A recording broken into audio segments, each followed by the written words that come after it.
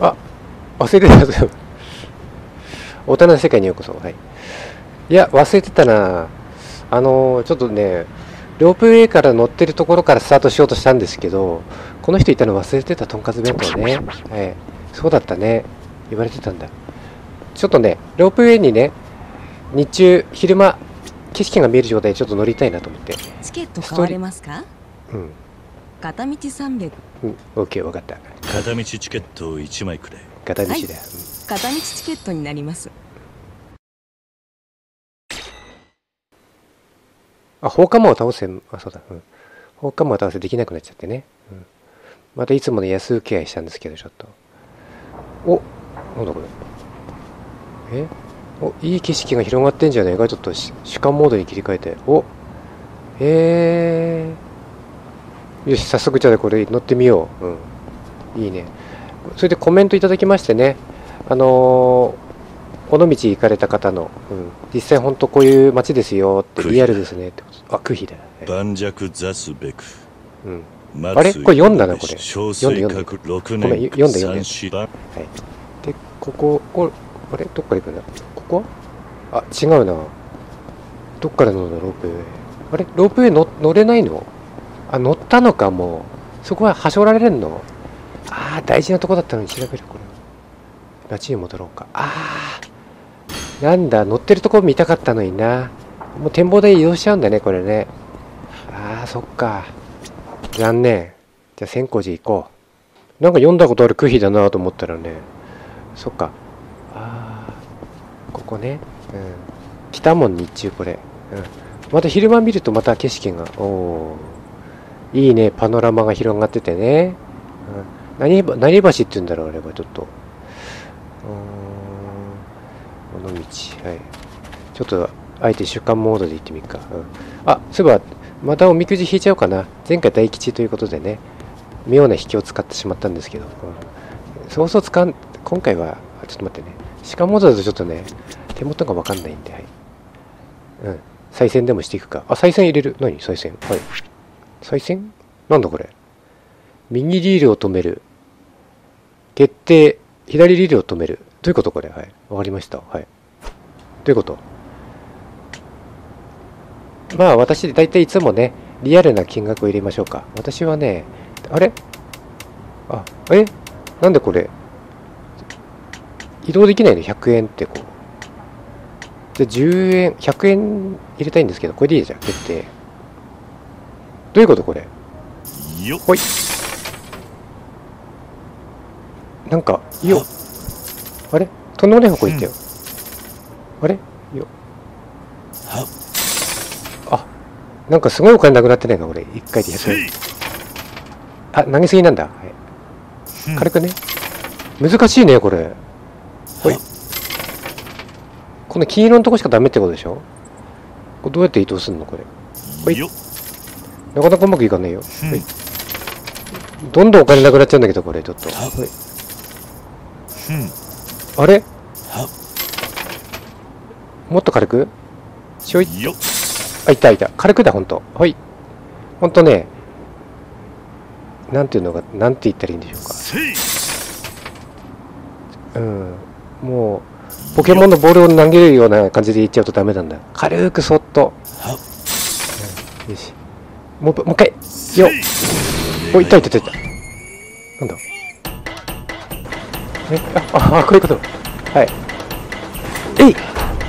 スタミナが？どうだ90秒。何これ？スタミナ90秒？短くないか？90秒って。一番短いやつ選んじゃったね。しかも結構散財今から90秒間効果が自動で。90秒間ってたった90秒あっという間だなこれなじゃあちょっとおみくじも引いちゃうかじゃあついでに、ねそううん運試しはいで、まあ、適当です、今度は。うん。まあ、一番左かな。うん。今度は、うん。どうだ？末吉かあ、末吉。まあね、リアルなとこですね。はい、うん今後一発、桐生の攻撃力が上がります。一発？こんなもんか。最初の一発重要ですね、じゃあね。はい、わかりました。はい。一発だけね。っていうことはもういきなりもうイベントに行ってその最初の一発でね強力なやつを叩き込んでっつう作戦も。ああそっか。じゃあここ行こう。あれ？どこで行くの？それで。これ帰り道が分かんない。あこっちか。こっちか、うん。帰りは歩きで行こう。あ昼間来るといろいろあるんだねこうね。やっぱり昼間来るべきだねこれほんと。こっち。あ本当にねリアルらしいんでねこれのね実際の先行時ですか？これ。うん。本当こういうこんな感じですよってことだったんでね。あ尾道。はい。はい。まあ尾道っていうのはねちょっとまあ広島自体私行ったことがないんでねちょっと行く機会が今後あるかどうかわかんないんですけども。まあそもそも大阪にすら行ったことないんでね西の方には。はい。じゃあというわけでねはい。戻ってまいりました。ちょっとねケーブルカーがなかったの残念だったな。あじゃあこれ無難中ヘペットナイスのところまで戻ってきましたね。じゃあそれ行っちゃおう、うん、もうケーブルカーにも乗れないということでね、うん、分かりましたよって感じで。あここ確か。よしよしよし。ここは。さあどうだ？鍵がかかってるな。ダメなんだ。こう持ってないんだえー、あとどこにあんの鍵だって。全部取ったんじゃないの？鍵マークだってあとないですよね。えー、ちょっとわかんないな。くさ一個の。ここにとんでもないお宝があったりしたら残念だからな。あごめん。またまた素通りしちゃった。行ってみましょうか。ここか？あれ？なんかやってないか？なんだ？これはストーリーに関係あることか。どうした？待って体力は？あ大丈夫だね。うん行こう。はい。どうした？え？うん？まだまだこんじゃ済まねえぞ。逃げ切れるつもりでいたんだろうがななめんだよ！ざまわねえなジョー。ほら立て！ジョー。ちりけじめつけろや。ああ？待て。あ何見てんだ？おっさんよ。消えろや。何があったか知らねえがもう十分だ。その辺にしておけ。なんだこいつ。知らん顔してりゃよかったのにや。正気か？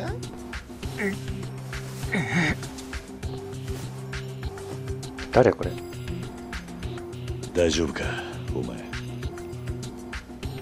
ダメだおっさん。うん。逃げてくれ。ここいつらは。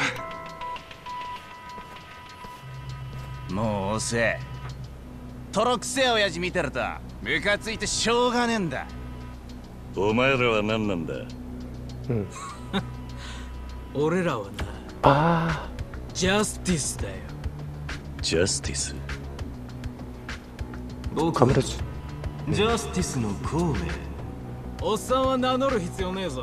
どうせすぐあの領域で。ジャスティス的に回したらどうなるか。思い知るやちょうど一発目強力なの打てるからじゃあこれで。聞いたかな？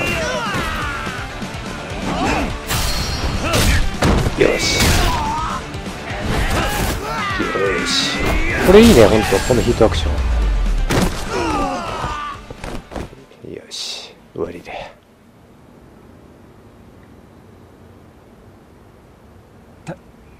助かったよ。お前立てるか？逃げてくれって言ったのにさ。すげえなおっさん。医者に見せた方が良さそうだなそれより早くここを離れねえと。ジョーさん！ひでえ。ジャスティスのやつらここまでやるなんて。お前こいつの仲間か？あはい。あのジョーさん助けてくれたんですよね。そのありがとうございます。礼はいいそれより追っ手が来たら面倒だ。とりあえずこいつを移動させるぞ。あはい。うちらがたまり場にしてる店があるんでそこに連れて行きましょ分かった。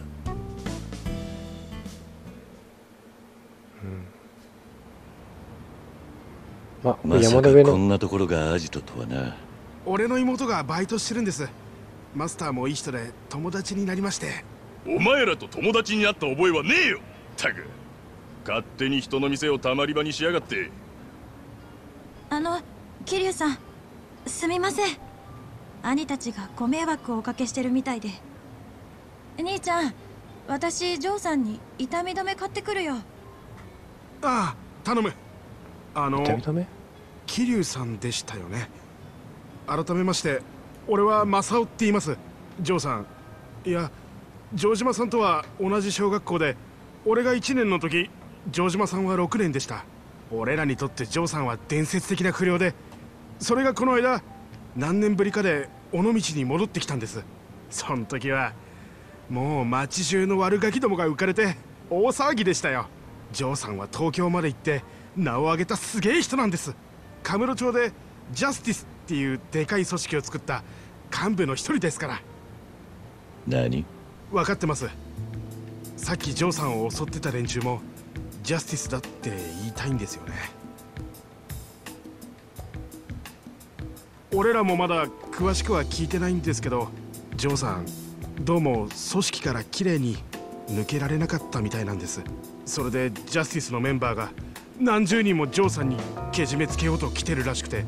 わざわざカムロ町から追ってきてるのか。俺もこの間カムロ町でそいつらを見かけたが一体何なんだ？そのジャスティスって連中は？そっか。あんたカムロ町から来た人なのか。さっきは助かった。あんたがあそこに居合わせなかったら今頃どうなってたかわからない。あんたは命の恩人だ。けど俺を助けたせいであんた自身がちょっとまずいことになると思う。ん。あんたも連中にジャスティスに目つけられちまった。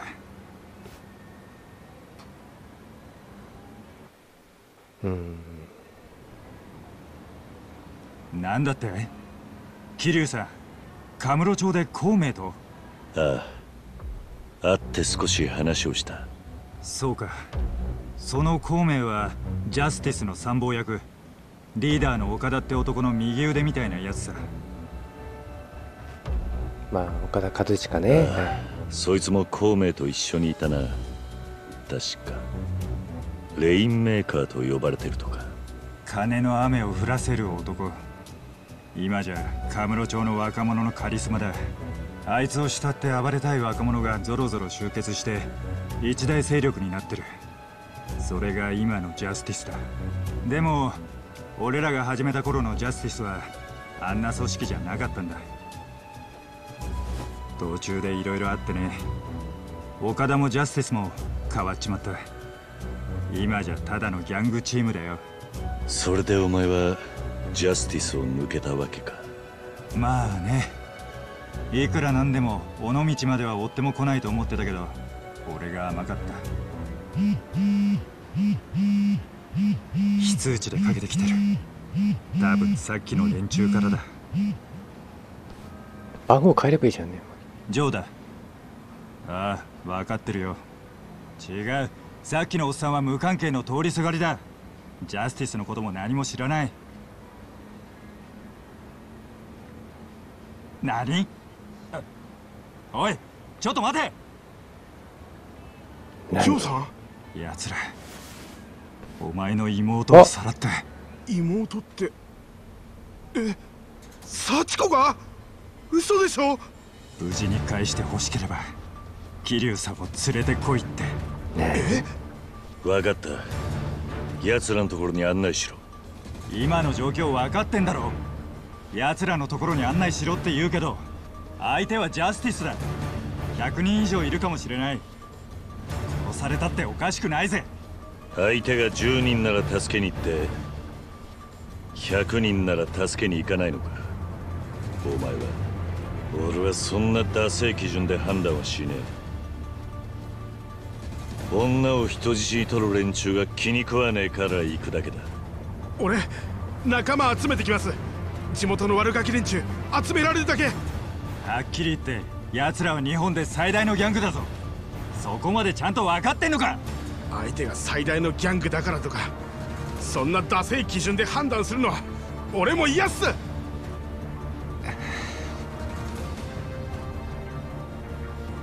巻き込んでしまって本当にすまない。そして今までダセえこと言ってすまなかった。桐生さんやお前の言葉で目が覚めたよ。幸子を助けに行く。みんな俺に力を貸してくれ。おうすぐに仲間を集めるんでみんなって一人しかいねえし桐生さんも準備できたら俺に声かけてもらえますか、分かった。分かった。あ幸子を救えってことで。集めてくれんの？ちょっと大丈夫？100人っていう。100人だったら桐生がなんとか30人ぐらい倒してもあと70人ぐらいはちょっと集めてくんないとね。ちょっとここであいらっしゃい。食べていこう、うんああでも結構いっぱいなんだねお腹あ25分までだから意外にでもお金なくなってきてんだねだんだんやばくなってきてるねちょっとはい気に入ったぜさあなんかいかついマスターだなと思ったんですけどね、ここのね、マスターが。そういうことだったんですね。はいというわけで、えー、どうしようかな。ちょっと待って、ここ、せめて能力強化しとくか。強化できるかな。それでいいっちゃおうか。体力は、体力も上げとこう。もう、上げれるだけ上げとこう、もう。よし、いいな。いっちゃおうじゃあ、幸子助けに。うんどんな戦いになんだよ、ちょっと怖いな。大丈夫かな？はい。桐生さん行こうと思いますご一緒お願いできますか？ええいいだろう。うん。ありがとうございますよっしゃみんな行くぞいや、ね、一人しかいないってみんなって。いんのかな？もう、いる体なのかな？やっぱり相当な数いこいつます5人しかいねえじゃないか、向こうも俺らが人数集めてくると見越してたんだ。でもこっちも頭数は揃いました。数では劣るけどやり方次第ではなんとかなるかも。この喧嘩は俺たちの喧嘩です。桐生さんはなるべく巻き込みたくない。正直うちらはえ寄せ集めのチームなんで全然統率が取れていちょっと多いぞ、ちょっと。このまま真正面から作戦なくぶつかっても多分帰り討ちに遭ってしまう、だから桐生さんには俺たちのリーダーとして監督みたいな感じで采配を振るってほしい。采配？ええ。戦況を見て俺たちにどうしたらいいのか指示を送ってくれませんか、普段はあまりやらないが。多いな。分かった。ジャスティスはお前の敵だ。お前の手で蹴りをつけろ。よーし。それじゃあ行くぞ幸子を奴らから取り戻す絶対勝つぞこれがあの、例のやつ、新しいやつですよね。なんていうの？まだ初めてですけども、もちろんね。ただ戦うわけじゃないんですよね。あ、こっちも結構いるんだね。うん双子みたいな人もいるけど。双子多いな、なんか。どうすっていいのって。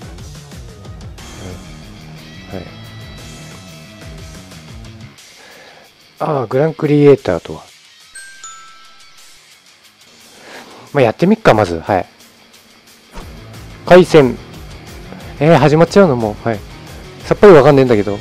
これ何？これこれこれ。これがなんだかまずわかんねえぞ。どこに置けばいいの？これ。どこから攻めえ？ーここでいいの？じゃあ。ここ、ここに置いとこうか。はい。回線。え、え、え、何？出撃。来た来たよ。来たよ。どこなってんの？いや、つけてんじゃない？え？まあ、行こう、行こう。なんか、なんか言ってるね。じゃあ、こ、か、え？あ、こいつらできんの？癒しの極み。じゃあ、これ癒しの極み。いけ癒しの極み。あれ？なんか自分だけ癒してないなんか。そういうやつなの？これ。これはなんだっけ？あ、あ、これが大将だな。大将、大将いけ。あ、こう行くのか。もっと。そうだよな。全然戦況が見えなかったもん、今。戦中、遠いな。いけ、いけ、極み。いけ。おっしゃー、いけ。あれ？なんか空振ってない？なんか今 え？あまこの壁役ってやつも使おうあれどこだ？遠いのか。え？撃破になってる。あ勝った。え？勝ったね。なんかよくわかんないうちに終わっちゃったな、うん。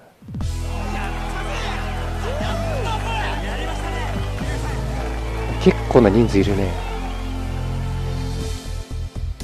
よお疲れ様でした。よくやった。お前ら。あー。レベルアップレベルアップ。はい。マサオマサオっていうのがああ一番頑張ったのかなこれ。進むはい。ああそういうわけじゃなかったのね、はい、いやーなんかよくわかんないなまだ全然。どういうふうにやったらいいのか。んちょっと大戦略チックな感じなのかなグランクリエイターって見た感じ あらかた片付いたな。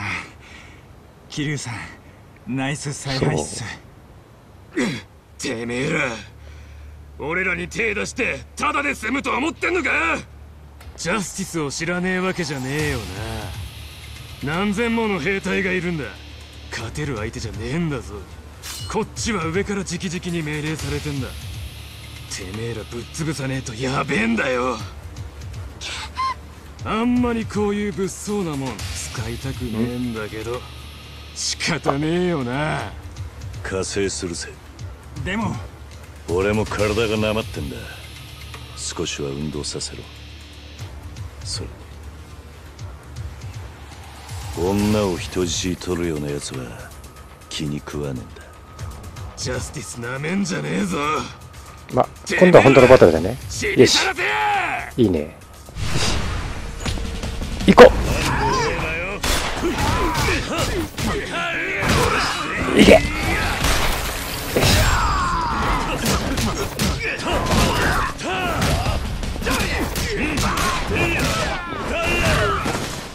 一発。よし。マイゲルの極み。あ。まあでももうちょっとね。さあ来い。あとは？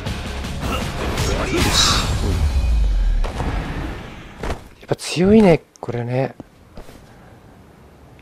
これでもう後戻りはできねえな。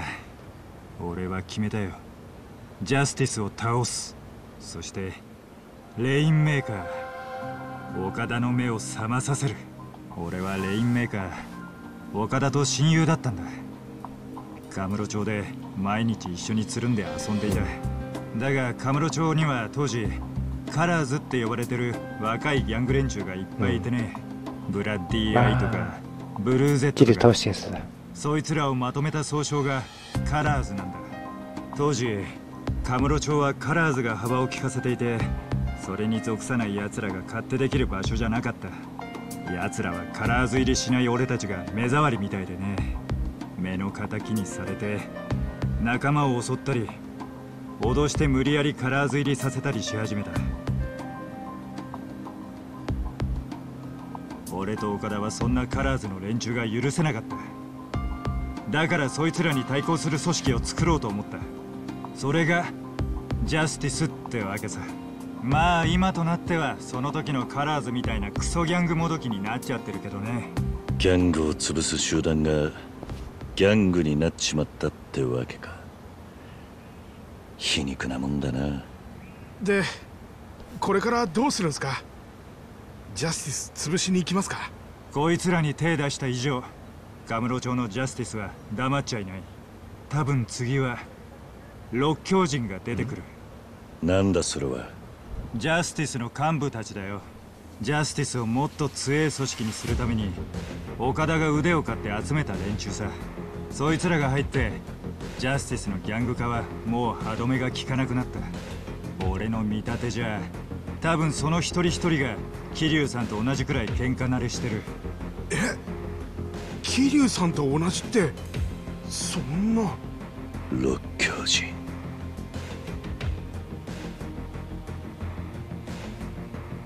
うん。六教人の皆さんお揃いですね。今日はちょっとした問題が起きまして。なんだよ問題ってのは。俺は忙しいんだよさっさとしてくれ誰か矢野よだっけ？メンバーが札にパクられたとかどうせそんな話だろ？おいおいそんな理由で集めてたとしたらぶっ飛ばすぞ孔明天こじジョーの件だな。なぜそれを？お前が独断でメンバーにジョーを追わせていると聞いた。おいおい孔明何勝手なことやってんだ。岡田はジョーをほっとけと言ったはずだその命令を無視したってことか。まあまあ内藤だっけ？別にいいんじゃねえか。組織から足を抜けるにはそれなりの代償がつきもんだ。それはジョーがジャスティスの創設メンバーだからって例外じゃねえ。ジャスティスは一応巨大組織だ。締めるとこは締めねえと。下に示しがつかねえだろまあ確かにな。でちょっとした問題が起きたってのはなんだよ？結論から言うとジョーがうちが送り込んだ部隊を返り討ちにしました。何？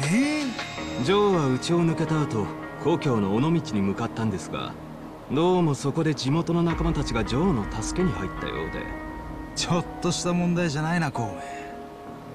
大失態だジャスティスの看板に泥を塗りやあこれがって本物本人か？申し声訳ない本人か矢野。な？これは軍資金だ。すまないが尾道へ行ってくれ。なんだよ。また俺か？まあいいけどよ。その代わり余った金は俺の財布に入れさせてもらうからな。勝手にしろ。ただし六教人として当然失敗は許されないしくじって帰ってきやがったらたっぷりお仕置きしてやるからな。いやしくじったら帰ってくる席なんかねえぞ。それがジャスティスのルールだろ。分かってんだようるせえな。くだらねえ心配すんなよバカ野郎。さーてじゃあ荷造りでもするかね。旅行ガイドも買っとくか。やってくれたなジョなんか新日本の主要メンバーの人たちがね六教人だったんですね。うーん。でもちょっとダメだな。操作慣れが全然全然分かってないままなんか勝利みたいになっちゃったからね。もうちょっとちょっと練習を。新しいチームを結成する？ああ。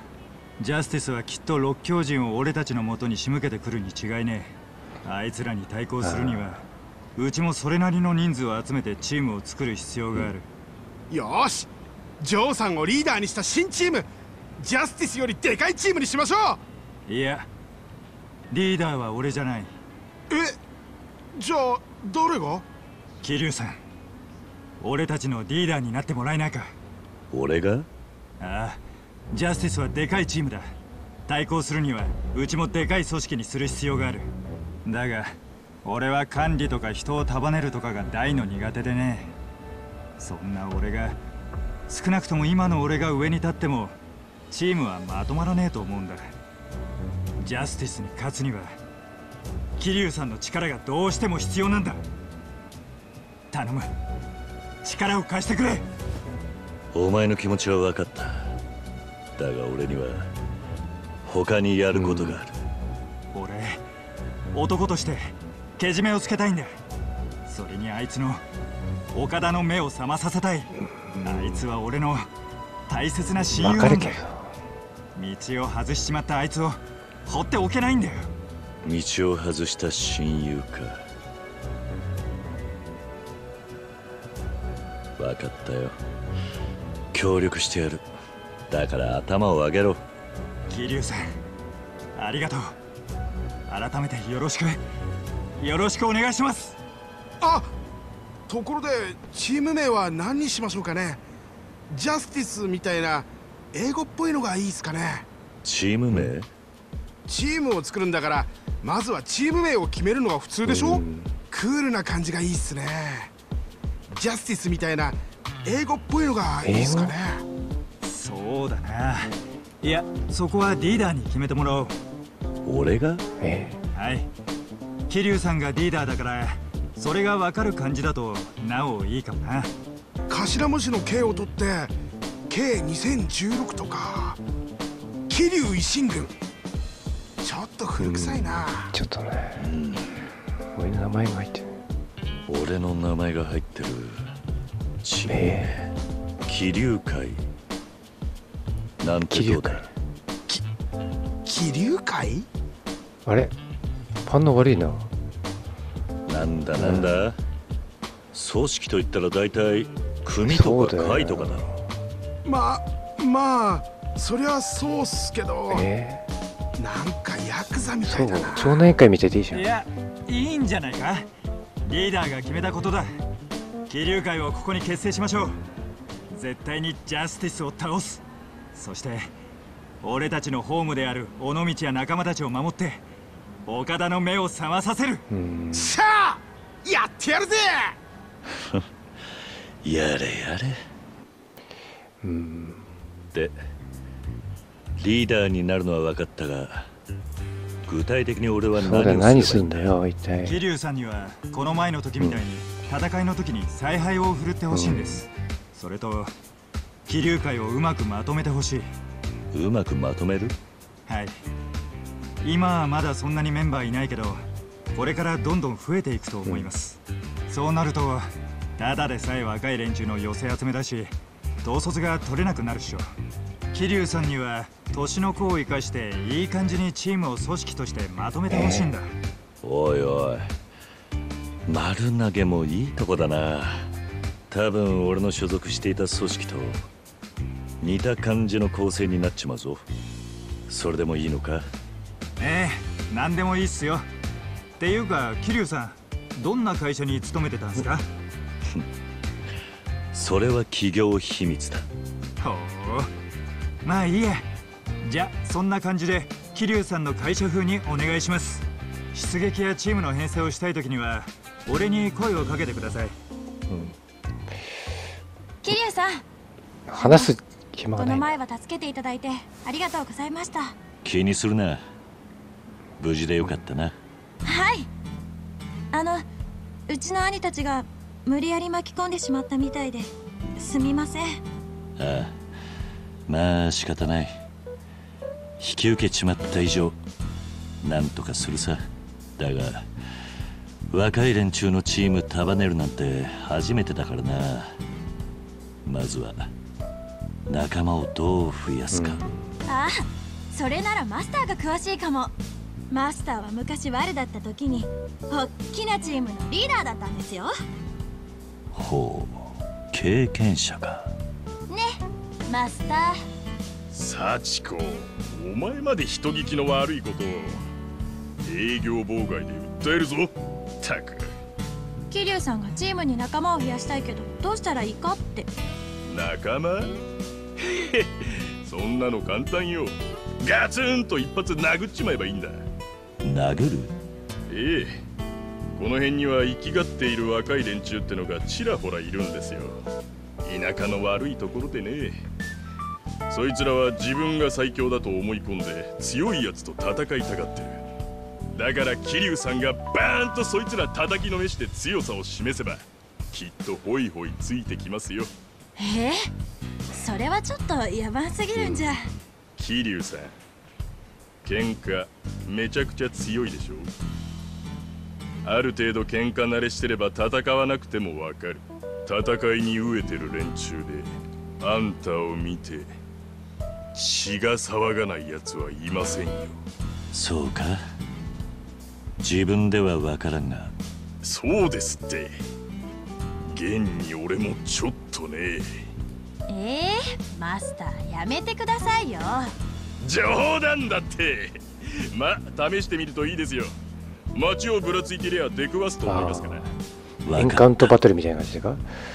スカウトについて尾道のには喧嘩相手に飢えている強者が存在します。彼らに声をかけると勝負に挑んできますので撃破しましょう。無事に勝利すると桐生の強さをリスペクトし桐生会のメンバーになってくれるはずです。うん。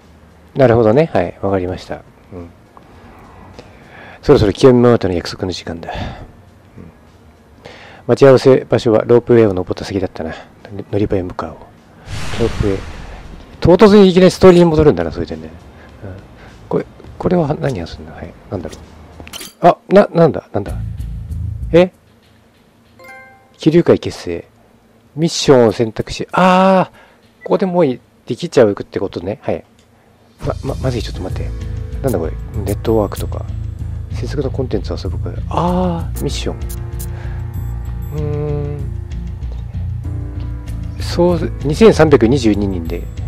わかりました。ちょっと一回戻戻ろう。もうあの人に話しかけちゃうと、ジョーに話しかけちゃうともう始まっちゃうんだね、これね。これは、話す。パスパスコードについて、マサオに話しかけるとパスコードを入力することができます。パスコードを入力すると通常では手に入らない特別な組長が気流会に加入します。パスコードを見つけた場合は入力してみましょう。クランクリエイターのネットワークモードを遊ぶと、そこでしか手に入らない組長が手に入るかも。はい。パスコードを入力しますか？いや、わかんないよ、そんなの。うん。わかった。はい。うーん。まあね、今回の6の一つの目玉でもあるグランクリエイターが、まあ、始まりましたね。まあ、なんせね、新日本プロレスの面々を呼び寄せてますからね、金かかってますよね。すごく多分、生半可な出来じゃないんじゃないでしょうかね。作り込んでるというかね、ゲーム性も多分、非常に面白い出来になってると思うんで、これもね、ちょっとやってみたいとは思うんですけども、まあ、結構、最初の戦いとかね、なんだかんだで時間が経っちゃったんで、今日はこの辺で終了ということで、うん。あと、まあ、清美ママにロープウェイで呼び出されてるんですけど、まあ、そちらも、えー、次回かな、できたらやりたいと思いますんで、よろしくお願いします。はい。というわけで、えー、本日はこの辺で終了です。はい。じゃあ次回もお願いします。さよなら。